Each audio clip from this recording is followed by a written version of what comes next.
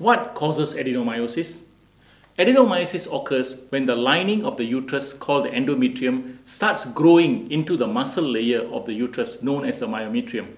Now, while we don't know exactly why this happens, there are some theories. Number one, junctional zone disruption. The junctional zone or JZ is like a protective barrier between the lining and the muscle of the uterus. Think of it as a fence keeping things in their proper place. When this barrier gets weakened or damaged, maybe from childbirth, a caesarean section, or a procedure like a D&C, it can't do its job properly. That's when the lining can start growing into the muscle, causing adenomyosis. Number two, stem cell misplacement. There's a theory that stem cells end up in the wrong spot in the uterine wall. This misplaced cell might develop into endometrial-like tissue inside the muscle layer, leading to adenomyosis. Number three, hormonal influence. Hormones, especially estrogen, don't actually cause adenomyosis, but they can make it worse.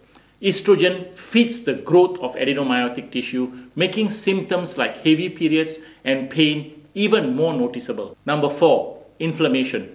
Chronic inflammation might also play a role. This could come from things like infections, autoimmune issues, or trauma to the uterus. Inflammation creates an environment where the endometrial tissue can grow into the muscle. Number five, genetic and environmental factors.